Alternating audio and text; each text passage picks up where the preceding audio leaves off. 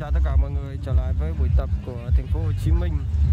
Và hôm nay là buổi tập ờ, đầu tiên của Ly Nguyễn ở trong đội và phóng viên rất là nhiều ở trên sân. Các phóng viên ờ, khi được biết ờ, hôm nay sẽ có Ly Nguyễn đây là rất đông phóng viên đã đến sân vận động Phú Thọ để tác nghiệp. Và hiện tại thì câu lạc bộ vẫn chưa đến giờ tập nhưng mà phóng viên đã đến khá là đông rồi. Và cả những fan hâm mộ nữa rất nhiều fan hâm mộ đang đứng ở ngoài ờ, ở phía ngoài sân để chờ được gặp Lý Nguyễn cũng như là các cầu thủ của thành phố Hồ Chí Minh. Tại đây thì ờ, các ờ, huấn luyện viên của thành phố Hồ Chí Minh đang họp trước buổi tập. Các huấn luyện viên cùng nhau đưa ra những bài tập mới để dành cho các cầu thủ. Huấn luyện viên Mano có lẽ thông tin Lý Nguyễn ờ, đã hoàn tất cách ly và có thể tập luyện chung với toàn đội là tin mà huấn luyện viên Mano cảm thấy vui vui nhất trong ngày hôm nay. Ông sẽ có một sự ờ, có thêm sự bổ sung ở hàng tiền vệ cũng như là hàng tấn công cho trận đấu chuẩn bị với câu lạc bộ Hồng Lĩnh Hà Tĩnh trên sân vận động thống nhất lúc ờ, 19 giờ ngày chủ nhật. Các bạn có thể đến sân theo dõi và mua vé tại à, 115 Butter cũng như là sân vận động thống nhất nhé. Trận đấu sẽ diễn ra lúc 19 giờ. Đây là cổ động viên lớn tuổi của thành phố Hồ Chí Minh. à, ông có tên là Darren. Mình không nhớ rõ tên đó nhưng mà mình chỉ nhớ là Darren thì phải. Ông rất hâm mộ thành phố Hồ Chí Minh và dành à, toàn tâm toàn ý của mình cho thành phố Hồ Chí Minh. Mình được biết ông là một uh, giáo viên dạy uh, tiếng Anh cũng ở khá là gần với uh, công ty uh, của câu lạc bộ thành phố Hồ Chí Minh tại quận 3. À, khi được biết là hôm nay sẽ có Ly Nguyễn nên là có thể là ông đã dành chút thời gian để ra đến Tân Sơn để chứng kiến uh, giây phút mà tận mắt nhìn thấy Ly Nguyễn ngoài đời. Bên cạnh đó là rất nhiều phóng viên đang ờ, chờ sẵn để tác nghiệp ngày hôm nay. Chúng ta có thể thấy được sức hút của Lý Nguyễn là lớn như thế nào. Còn đây là mập mập đen đen đang đứng cầm máy ảnh chụp hình đó là Cao Toàn, phóng viên ảnh của thành phố Hồ Chí Minh.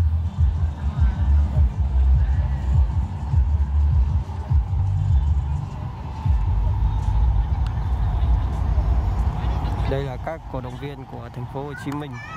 Họ đang đến đây để có thể mong muốn là được gặp mặt Ly Nguyễn.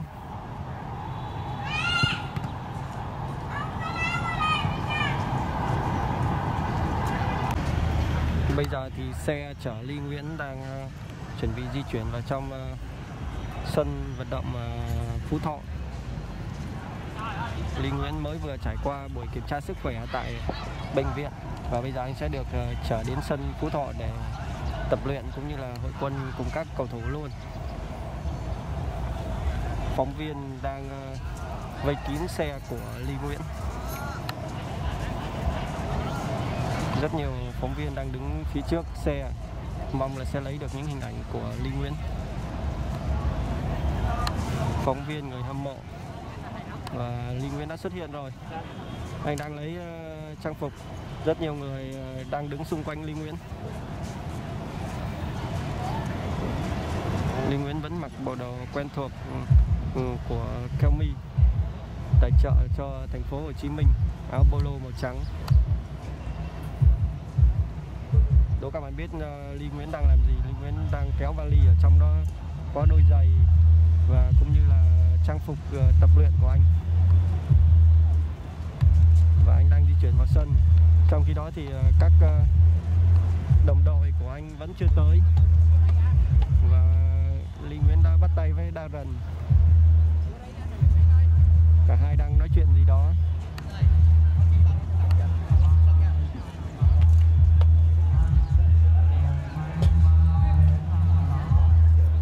Chào mừng Lý Nguyễn đến với sân vận động Phú Thọ và buổi tập đầu tiên cùng với thành phố Hồ Chí Minh.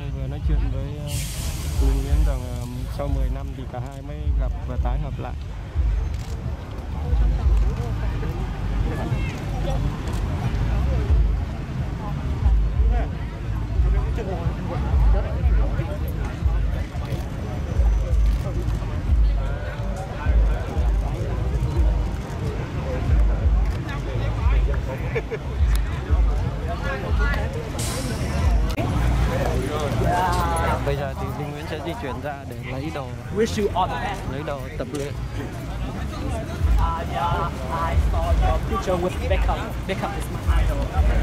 Yeah, Your relationship. Recently with Inter Miami. Yeah, okay. Wish you all the best.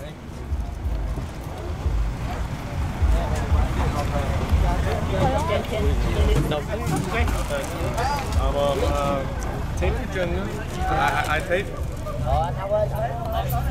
The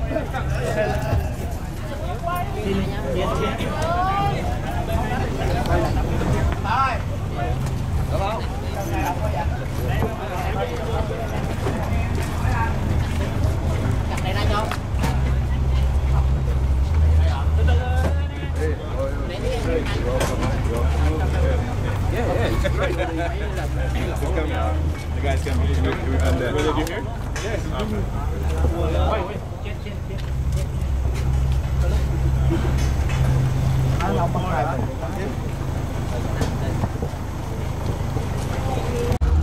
và như vậy là Lý Nguyễn đã thay xong bộ đồ tập của thành phố Hồ Chí Minh. Và ở câu lạc bộ thì anh sẽ mặc chiếc áo số 24 Đông lắm á. Đông lắm mày đá ma thì lát mày lộ hết đó con Bây giờ mày ngồi thì lát lộ á. Bây giờ thì anh sẽ mời vô, uh, đồng đội. Mày lát lộ hết á. Bây giờ anh đi uh, chào những đồng đội mới.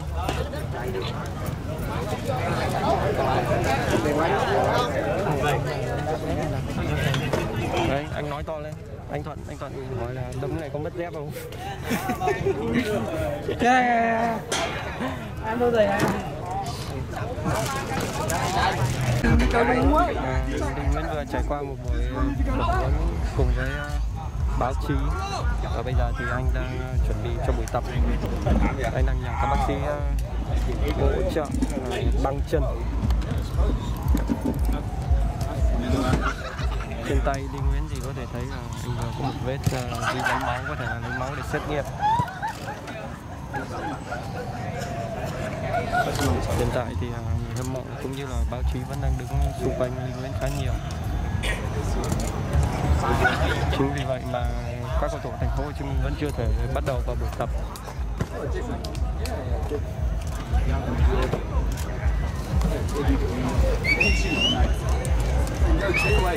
Có lẽ đã rất lâu rồi thì à, sau cái thời của công phượng thì à, chúng ta mới thấy được là thành phố Hồ Chí Minh có một sức hút như thế này. We're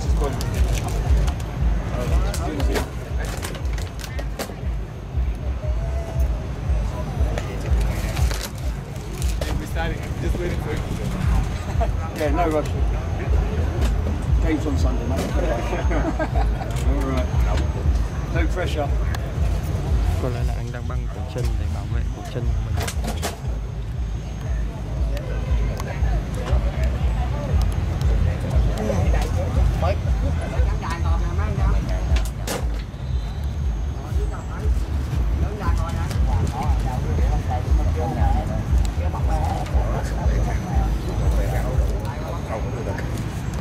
Hiện tại thì à, các cầu thủ thành phố Hồ Chí Minh đã đi ra họp mà trước trận đấu trước buổi tập cùng với à, huấn luyện viên Manu rồi.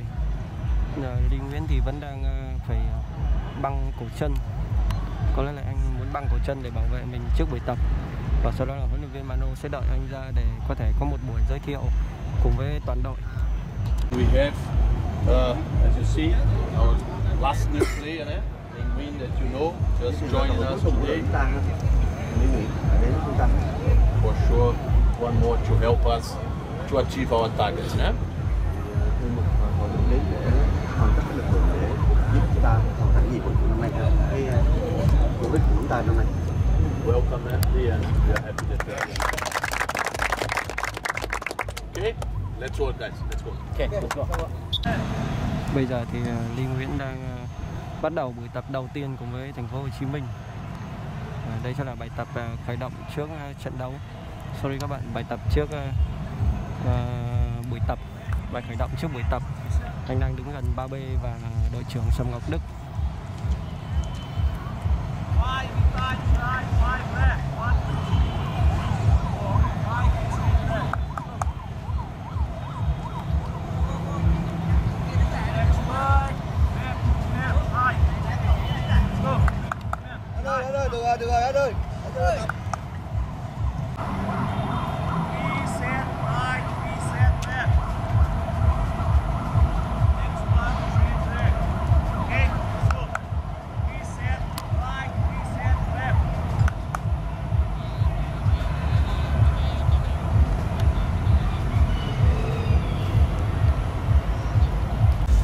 Phía bên đây thì ờ, bốn thủ môn của thành phố Hồ Chí Minh ờ, vẫn đang khởi động. và bắt đầu vào buổi tập di chuyển. Rồi đầu tiên thực hiện bài tập này sẽ là Nguyễn Anh Tuấn.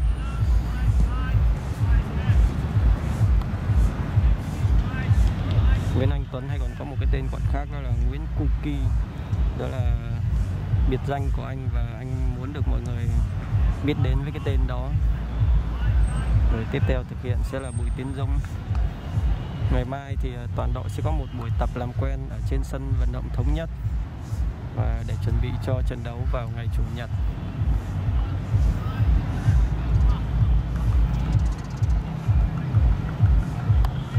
Các khán giả cũng đang đứng phía sau cung thành để xem ờ, các thủ môn của thành phố Hồ Chí Minh tập luyện.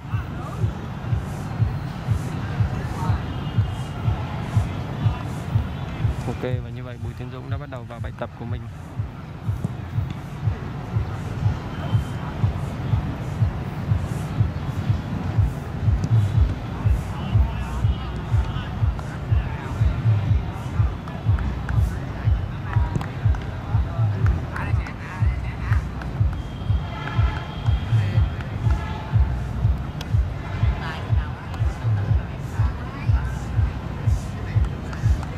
tiếp theo thực hiện sẽ là thủ môn à, Phạm Văn Cường.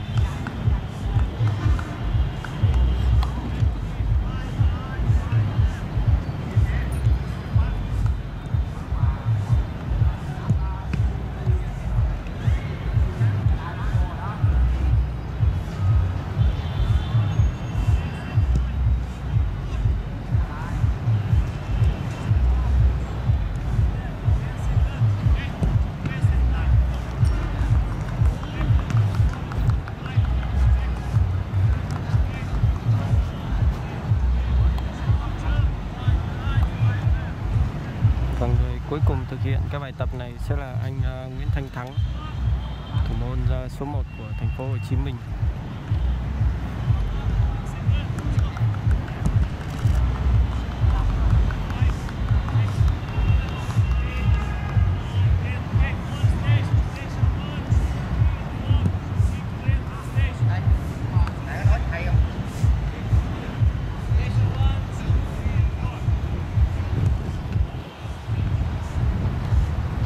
Hiện tại thì còn khá đông các ờ, phóng viên đang đứng ờ, tác nghiệp ờ, bài tập của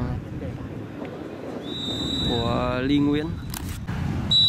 Hiện tại thì còn khá nhiều phóng viên đang đứng để tác nghiệp cái buổi tập của Ly Nguyễn.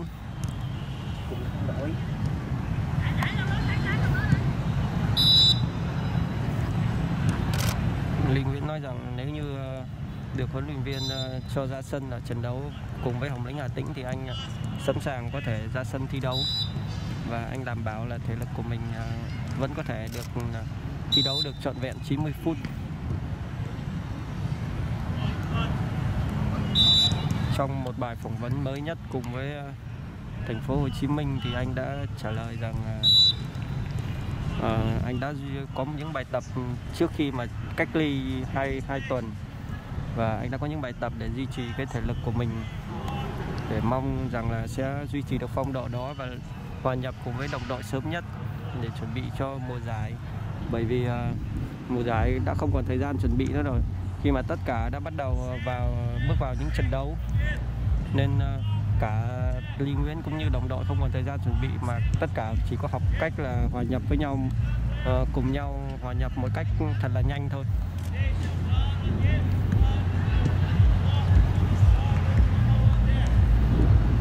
Lý Nguyễn nhìn ở trên sân, nhìn anh có vẻ rất là ngầu và đẹp trai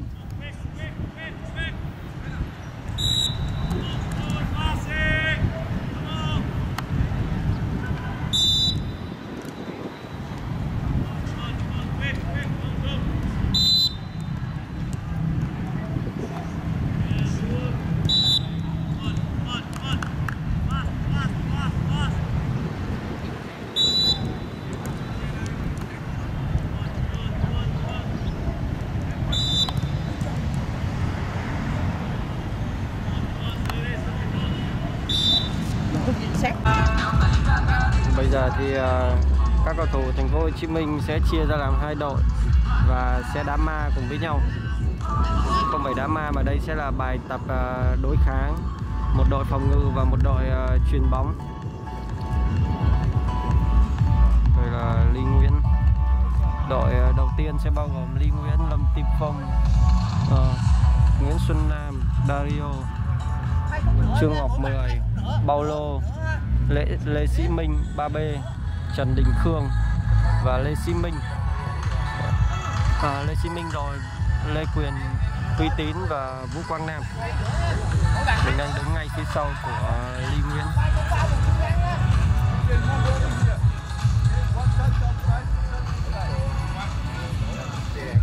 Ở trong kia hai chạm các bạn. Các bạn không gian ở ngoài là chơi một chạm nhé ok.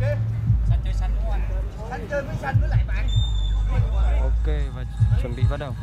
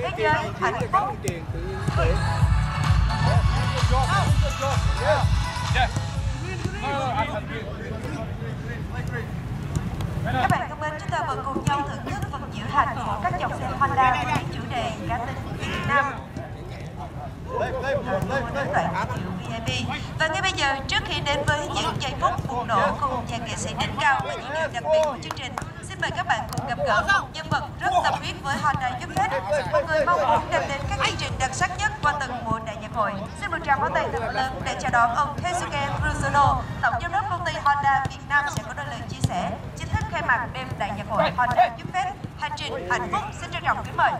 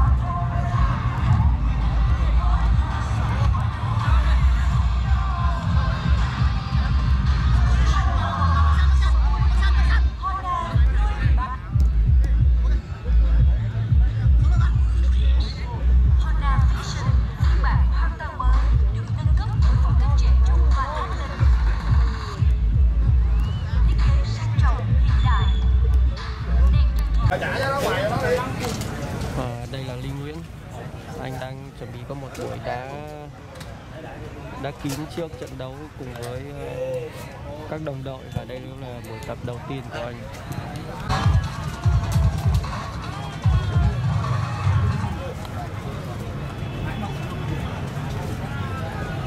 huấn luyện viên Mano đang có những trao đổi đối với Dario và các cầu thủ trước khi vào, bắt đầu vào một buổi tập đây sẽ là buổi tập chiến thuật đầu tiên của Linh Nguyễn cùng với các đồng đội tại câu lạc bộ Thành phố Hồ Chí Minh.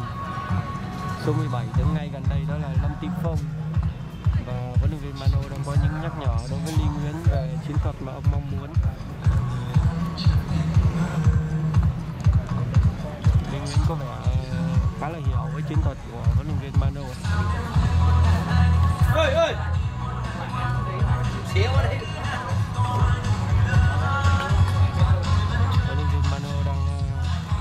Cân căn dặn Linh Nguyễn khá là nhiều.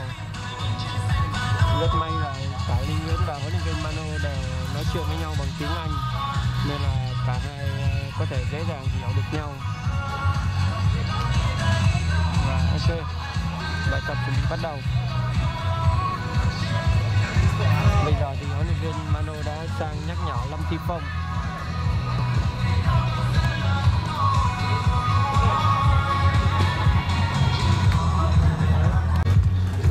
Sẽ bắt chính ở trong ờ, trận đấu nội bộ này sẽ là Bùi Tiến Dũng và Nguyễn Thanh Thắng. Bùi Tiến Dũng người lấm lem hết luôn. Có vẻ là trước cái buổi tập hồi nãy thì người của Bùi Tiến Dũng đã, Bùi Tiến Dũng đã đổ người lăn xả quá nên là người dơ giấy hết rồi ok, bây giờ thì bắt đầu vô trận đấu.